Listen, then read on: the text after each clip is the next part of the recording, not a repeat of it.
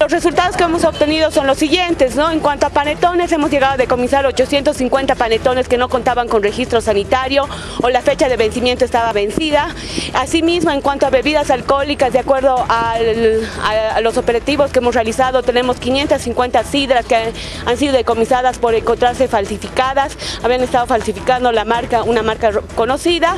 También hemos llegado a decomisar 2.800 bebidas que no contaban con registro sanitario, estaban vencidas o en algún caso también falsificadas, adulteradas.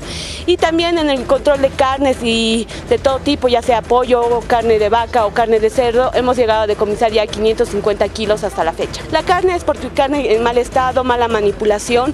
Eh, como saben, de acuerdo a nuestra planificación, hemos tenido eh, carpas de atención. Estas carpas se están manteniendo, se van a mantener hasta la primera semana de, de enero. Tenemos seis puntos de atención en los diferentes ferias y mercados que permiten obviamente a la ciudadanía tener una respuesta inmediata a las denuncias que puedan recibir. ¿En qué lugares han sido estos? Eh, bueno, mencionamos que tenemos en lo que es la Garita de Lima, tenemos en el Mercado Rodríguez, tenemos en el Mercado de Villa Fátima, tenemos en el Mercado de Miraflores, en el Mercado Yungas y tenemos también en el Mercado de Achumani. Son los seis puntos de control en el cual hemos distribuido al personal y paralelamente también estamos haciendo los monitoreos correspondientes con las camionetas, con los grupos operativos que coadyuvan al control que se está realizando en estos puntos.